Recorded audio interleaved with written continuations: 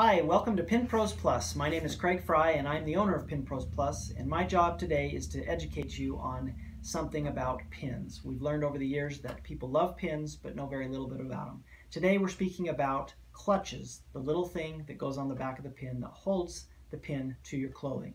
I'll zoom in and show you. I've got four different clutch types here on, on my desk. And we'll zoom in so you can kind of get a good picture of them. The first one is the butterfly clutch.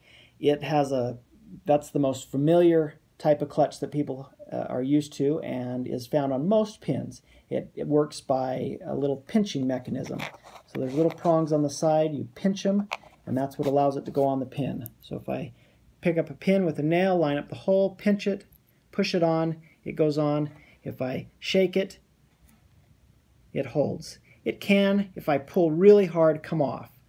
Uh, but it, it's the standard option. The next option is the rubber clutch. Not as common, a little bit, uh, but becoming more popular with a lot of people. It works by suction. So let me pick that up with the pin and the nail, line up the hole on the back, push it on, you can feel the tension, it goes on there. If I shake it, it doesn't come off.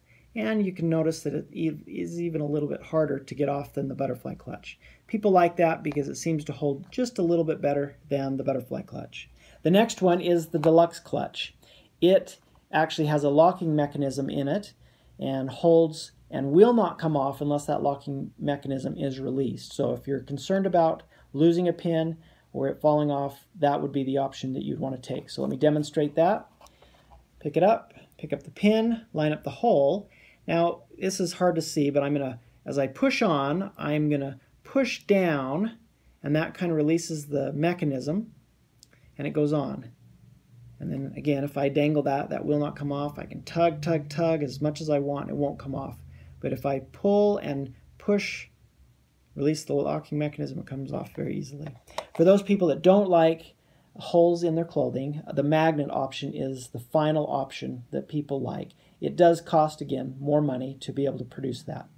But on the back of the pin is a little disc that is magnetized. And then we have a disc with a magnet on it that attracts to that.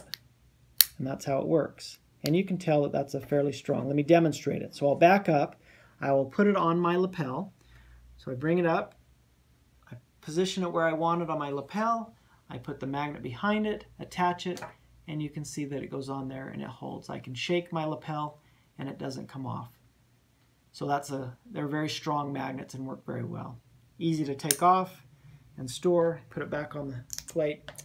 And that's a little bit about clutches today. I hope that that's helped you make your decision on your lapel pin just a little bit easier um, and you know a little bit more. Sometimes a visual makes all the difference.